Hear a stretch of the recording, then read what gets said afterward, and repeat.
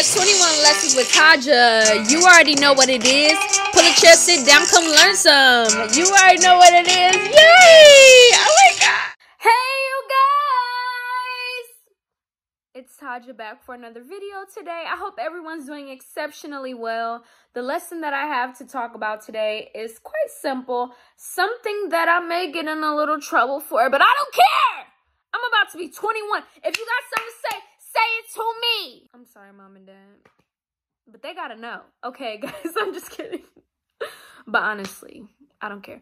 Anyway, today's lesson is about developing a relationship with the Lord and religion.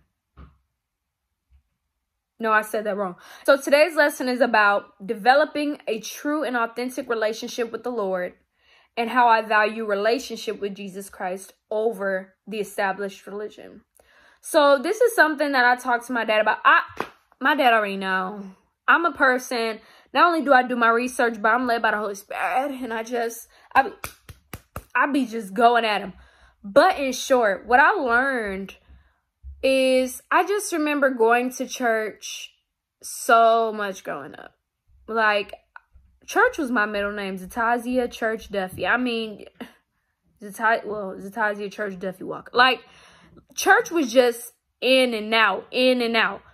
All, it seemed like just every week, just nonstop. And it got to a point where I just couldn't stand it anymore. I got tired of it.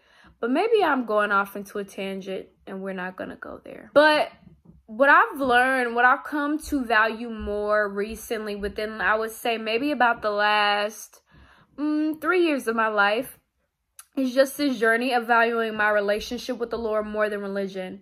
And I sort of had an epiphany back in high school. Just um just this thought about how organized religion just gives me the heebie-jeebies. Um when I was in high school, I learned a lot about the enlightenment and I learned about, you know, this whole religious I'm not about to get into this, but I learned about you know why there are so many different denominations. And i'm not gonna i don't want to be too controversial. I'm not.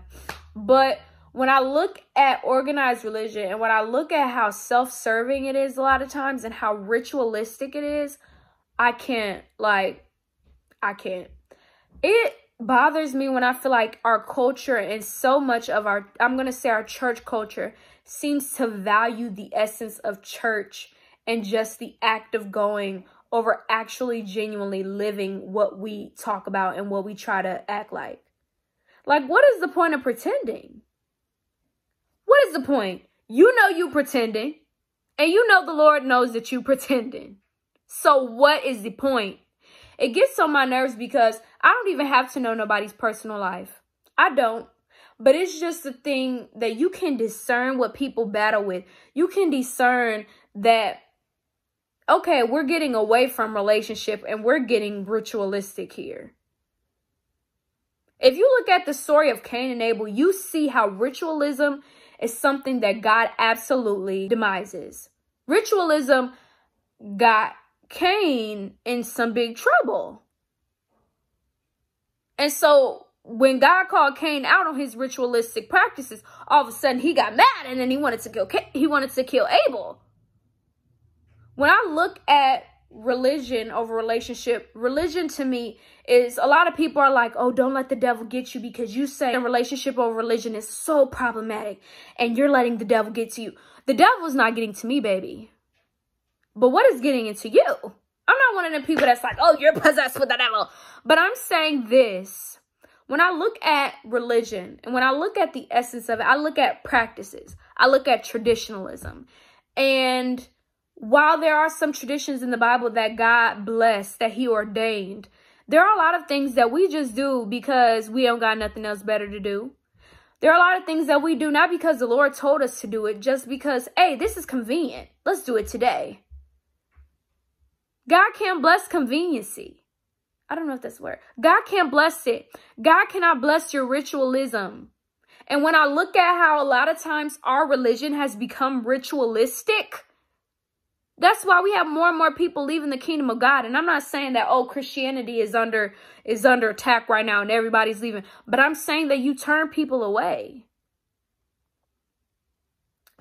So that's what I say. When I look at a relationship, I look at something that is much more authentic, something that is always evolving, right? Something that you can't necessarily perfect in one day or one week or one year, but something that you commit to. You know, like even if you look at our earthly relationships, they're not perfect. There are some days where you want to quit, but every day you get up and you're like, you know what? Let me commit to learning today. Let me commit to doing something different as opposed to religion which a lot of times I have seen how it perpetuates rules. It perpetuates a certain designation. Oh, you're special and you're not. Oh, you're high and mighty and you're not. Oh, let's treat you like God, but you're not. So until we get to a point where religion is not so falsely indoctrinated and self-serving, then I'm going to say relationship. Because if we look at the origins of religion and why we have so many denominations, it's not because everybody was so eager to go praise the Lord. It was because everyone wanted control of their own. So, I said a lot, but hopefully mommy and daddy don't get too mad.